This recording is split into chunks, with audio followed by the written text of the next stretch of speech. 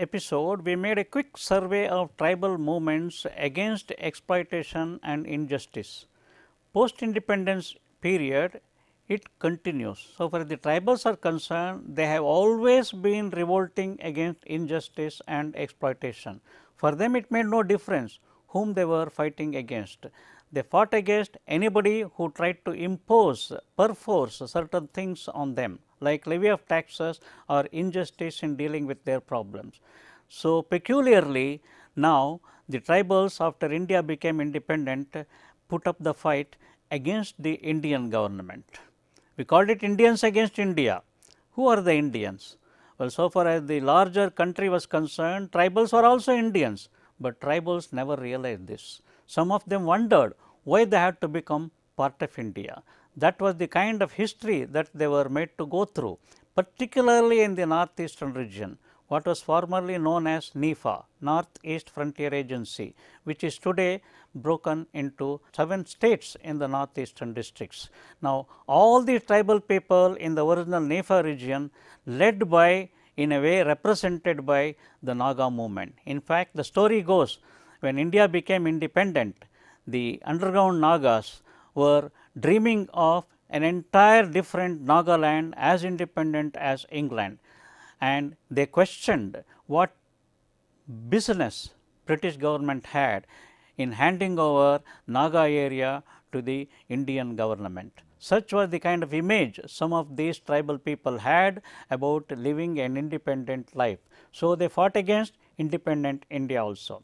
Assam stance in a way was very interesting, because they identified themselves as so distinct. In fact, mythologically they related some of their leaders as far back into the Mahabharata time and they claim that Assam is something very different from the rest of the tribal world and it has to be given a separate kind of an identity in the tribal world in the Indian subcontinent.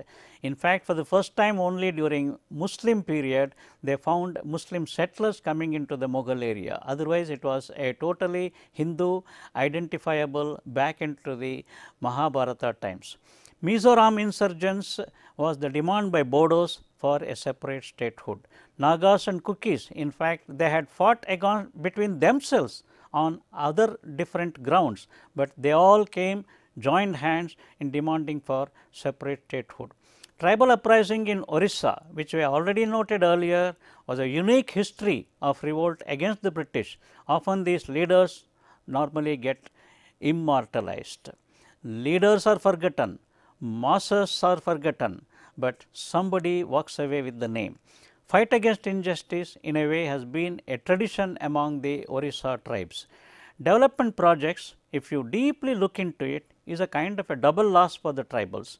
First of all, whatever is done after evicting them from the area or even without evicting them has nothing to do with their own development and progress, because what is undertaken under the name of development is something that does not fit into their framework of life.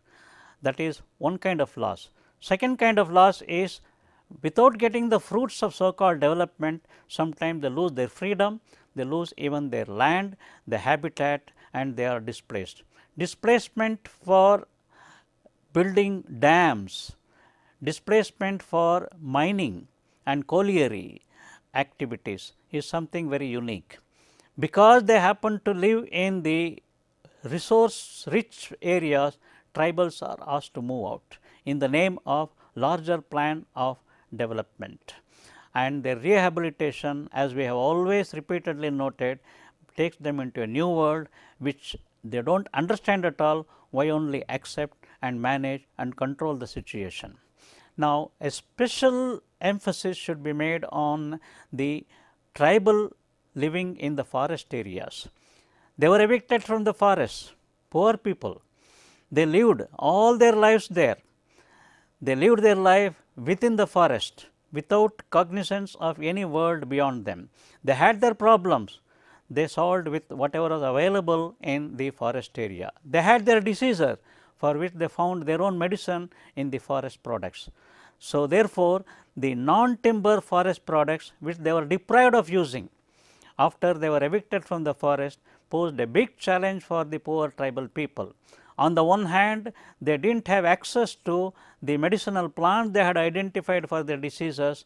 On the other hand, wherever they were rehabilitated, they had to pay for medicines, the name of which they did not know at all.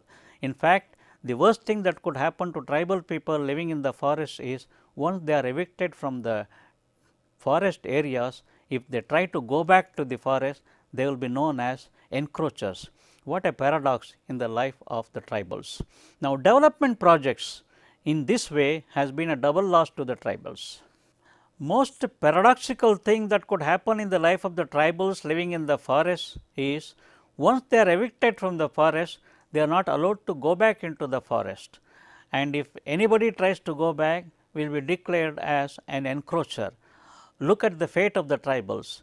They lived in the forest using the forest products but then when they are evicted they can't go back into the forest because they will be known as encroaching the government land. Now, forest conservation acts in this way have been totally uncharitable to the forest tribes.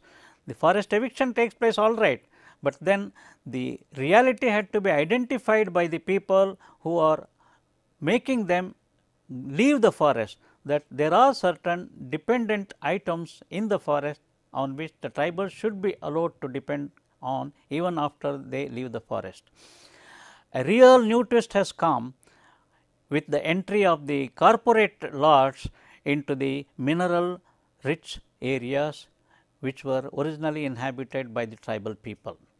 This is a total lack of empowerment for the tribal people who have always uh, lived there and without a doubt anybody could be in support of the tribals if the kind of newfound poverty led them into a kind of belligerent attitude towards anybody around who was involved in uh, bringing them into this new kind of a downward fate. The present upsurge has been repulsing the oppression from above. Who is this above? Above could be locally only a feudal lord, but feudal lord in this oppression is not alone. Every feudal lord has hands in glove arrangement with the higher ups. Higher ups could be the bigger capitalists, higher ups could be the people who are influential, higher ups could be those who have the lobbying power with the powers in the government or higher ups could be the government officials themselves.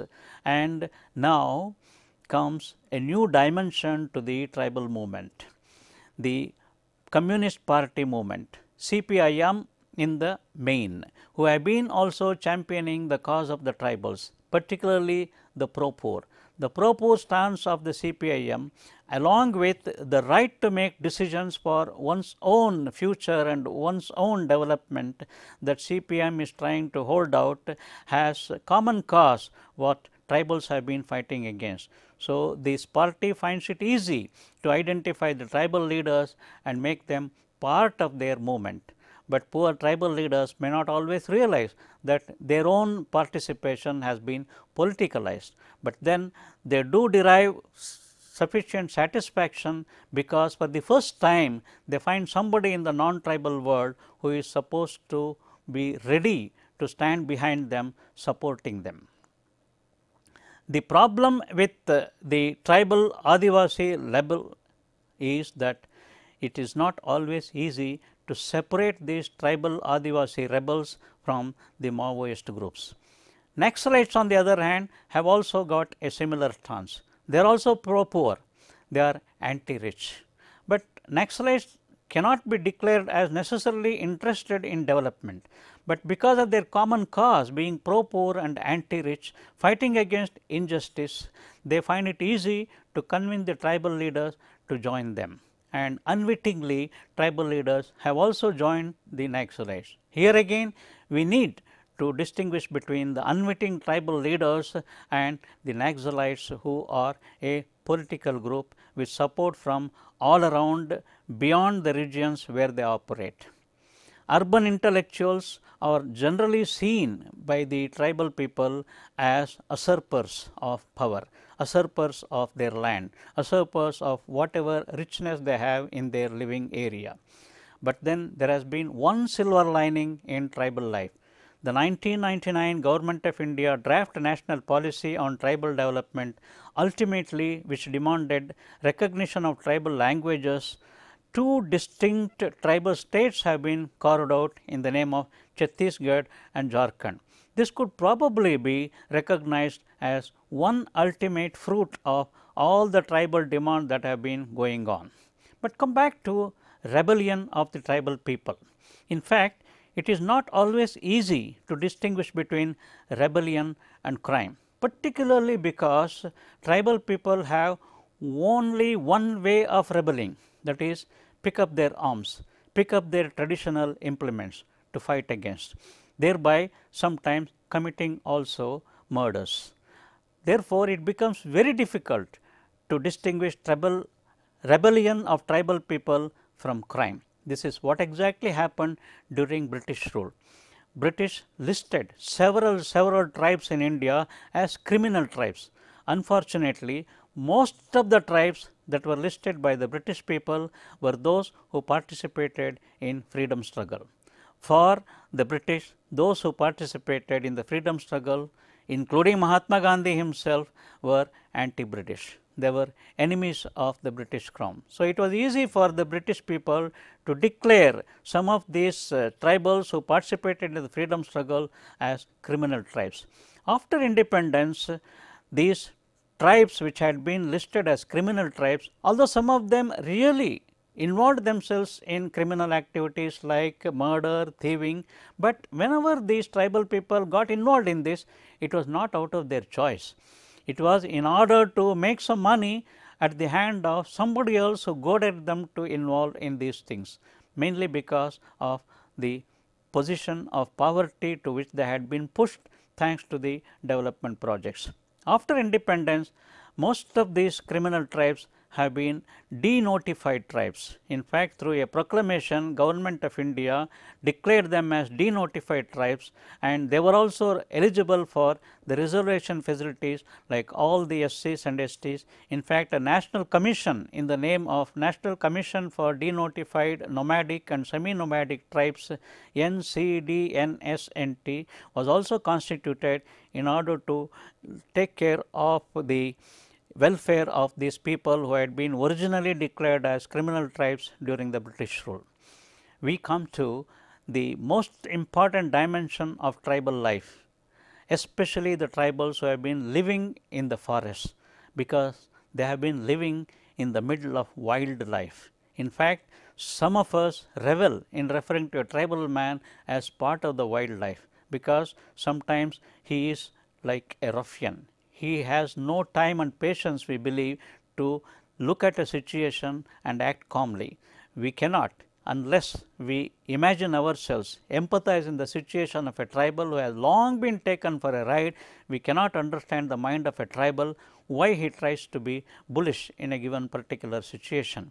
They live in the forest in the middle of wildlife and wildlife has always been a money spinner we have heard so often about foreign tourists coming in not always with the gentle feeling of having a look at the variety of wildlife, the flora and fauna and the richness of the biodiversity, but also some of them with the hidden interest of carrying some, some kind of memento of having visited, memento in the form of the skin of a rare animal, it could be the horn of an elephant or a rhino, it could be anything that they could carry along with them as a memento.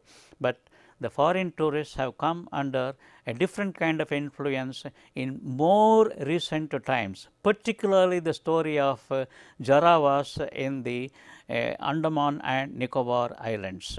What happens there is the promoters of tourism, particularly the promoters of tourism among the foreign tourists take them into these areas and they have them interact with the local people the Jarawas.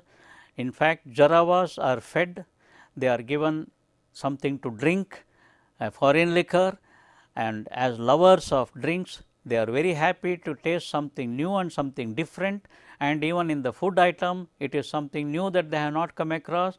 They are all taken for a ride and then comes the photograph session and with the scanty kind of dressing the teenage girls in fact most of them are seen often naked above the waistline pictures taken with the foreign tourists hanging around them, dancing with them. NGOs and INGOs have taken up this cause because many of these tourists keep their photos as mementos having made girlfriends in a foreign land among the tribals. Many of these photos back in their country may become posters, poster girls and poster villages, but NGOs and INGOs have taken up the cause but poor tribal people they do not realize that they are being taken for a ride. They have always had somebody else fight their cause. Now, in this particular episode, we have tried to identify how the tribal people have been facing problems even after India became independent, particularly in the name of development programs, very particularly when the development program involves eviction of tribals from the areas where they have been living. So, therefore, development does not necessarily mean for the tribals something positive, something progressive.